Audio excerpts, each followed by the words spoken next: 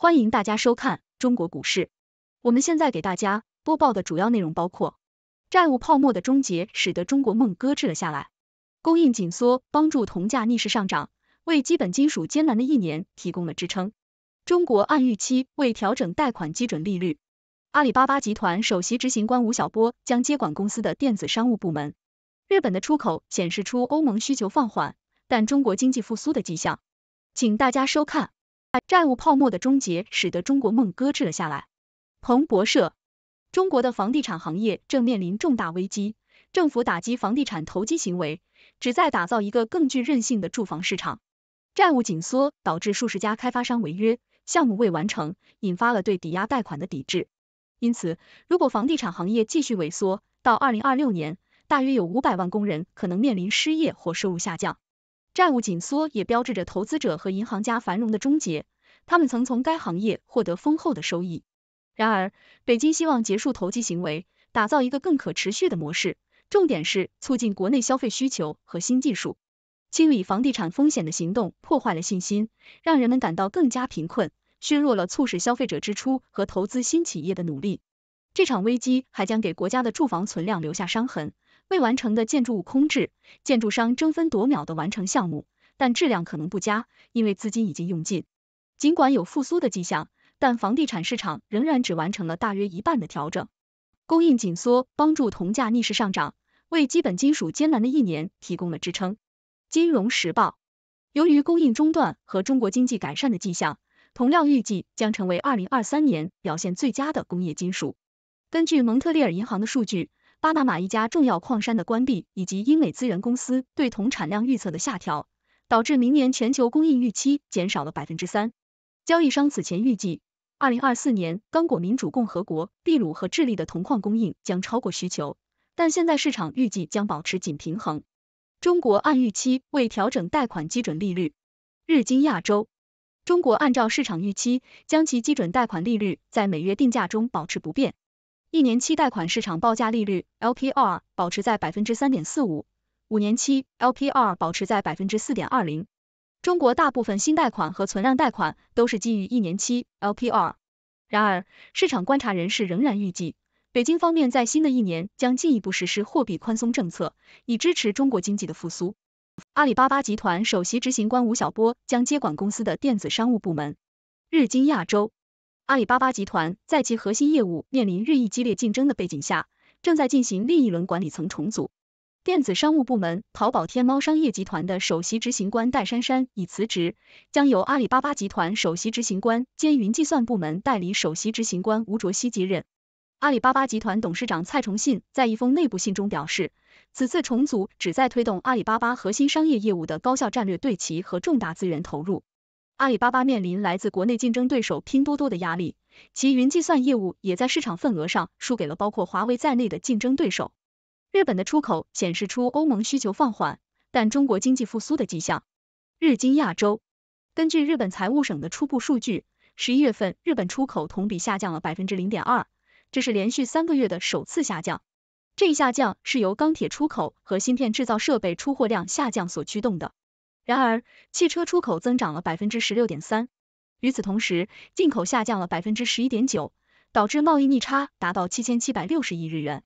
由于中国需求疲软，受到 COVID 十九疫情缓慢复苏和房地产销售下滑的影响，抵消了来自美国和欧洲的强劲需求。对欧盟的出口连续三十三个月首次下降，而对美国的出口增长速度放缓。经济学家正在关注中国经济复苏的迹象，因为它可能抵消对美国和欧洲出口的下降。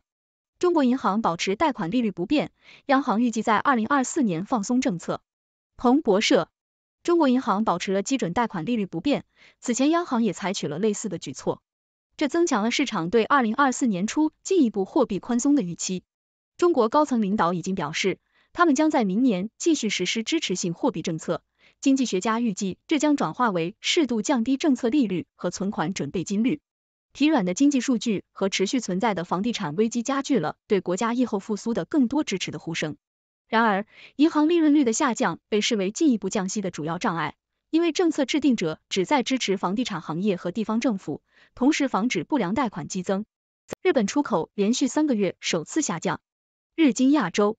由于中国需求疲软，日本十一月份的出口同比下降了百分之零点二，这是连续三个月的首次下降。中国需求疲软是由于该国从 COVID 十九疫情中缓慢复苏以及房地产销售下滑所致。相比之下，对美国的出口增长了百分之五点三，连续二十六个月扩张。经济学家正在密切关注中国经济复苏的迹象，因为这可能对日本的出口产生积极影响。我们用自己的钱来玩，所以非常谨慎。中国是不可投资的还是无价的？南华早报，外国投资者越来越多地撤资中国的业务。原因包括该国经济疲软、地缘政治不确定性、监管环境收紧和劳动力成本上升等因素。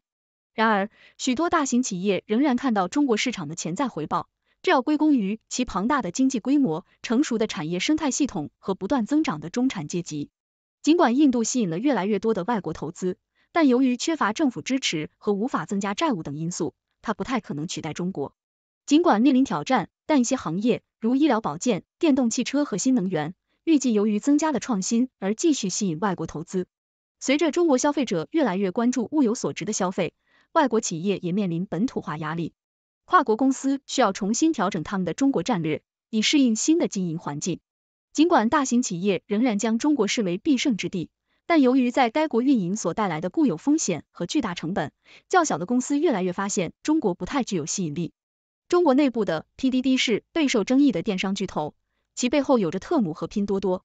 日经亚洲，中国电商平台拼多多 PDD 正在迅速扩张海外业务，其跨境电商平台特姆在多个国家的免费应用下载榜上名列前茅。拼多多的市值超过了阿里巴巴，成为市值最高的在美上市的中国公司。然而，人们对特姆烧钱的营销活动和公司无休止的工作文化的可持续性提出了担忧。专家还指出，拼多多可能面临监管审查，特别是在美国。物流版 Uber l a l a m o 进入司机短缺的日本市场。日经亚洲，总部位于香港的物流平台 l a l a m o 将进军日本市场，因为该国面临着包裹递送人员短缺的问题。l a l a m o 的日本办事处已开始在东京招募自由职业的持有货运驾驶执照的司机，并计划利用其全球品牌知名度吸引用户。预计将于四月生效的日本劳动法修订案将限制快递司机的加班时间为每年九百六十小时，引发了由于卡车司机短缺而导致物流瓶颈的担忧。l a l a m o 在繁忙时段提高了运费，旨在减少货车在下一次取件前的空载时间。暴风雨般的水域，红海袭击导致中欧集装箱运价飙升。南华早报，由于胡塞武装分子在红海地区发动袭击，全球航运巨头将集装箱船只改到金好望角。导致中国与欧洲之间的运费飙升，包括 CMA CGM、马士基、地中海航运、中远和长荣海运在内的航运公司已暂停通过埃及苏伊士运河的航线，选择京好望角的替代航线将使亚洲、北欧航线的西行航程增加约十天，并导致运费进一步上涨。各位观众，大家好，我是来自六度世界的六博士，今天我们一起来总结一下这些新闻。首先，中国房地产行业面临着重大危机。政府打击房地产投机行为，旨在打造一个更具韧性的住房市场，这将对房地产行业的投资者和银行家带来影响。但北京希望通过清理风险，打造一个更可持续的模式。其次，由于供应紧缩和中国经济改善的迹象，铜价预计将成为二零二三年表现最佳的工业金属。此外，中国按照市场预期，将其基准贷款利率保持不变。但预计在新的一年将进一步实施货币宽松政策，以支持经济复苏。此外，阿里巴巴正在进行管理层重组，并将接管公司的电子商务部门。此外，日本的出口数据显示中国经济复苏的迹象，但同时也显示出欧盟需求放缓的情况。最后，外国投资者对中国市场的撤资越来越多，但许多大型企业仍然看到了中国市场的潜力。综合来看，中国房地产行业面临的困境将对经济造成一定的影响，但北京方面希望通过清理风险，打造一个更可持续的发展模式。铜价的上涨预示着中国经济的改善，这将对全球工业金属市场产生积极影响。中国在经济复苏方面将继续实施货币宽松政策，以支持内需和新技术的发展。同时，外国投资者对中国市场的撤资可能是暂时的。许多大型企业仍然看到了中国市场的潜力。这些新闻反映了中国经济面临的挑战和机遇。我们期待未来能够看到更多的发展和变化。接下来，我们欢迎观众参与讨论并提问。你有什么样的想法？谢谢您的收看。上面播报的内容是六度团队推荐的全球专业媒体、智库、政府机构和行业专家的最新报道、分析简报。更详细的内容，请大家去这些媒体、智库的网站阅读。这些内容并不一定反映六度简报的立场，亦不能作为任何决策的建议。六度团队由专业媒体人、学者、科学家组成的独立新型媒体，大家可以根据自己的专业要求订阅各种简报。网址是六度 brief 点 com。您在世界任何地方都可以通过电邮收到六度简报。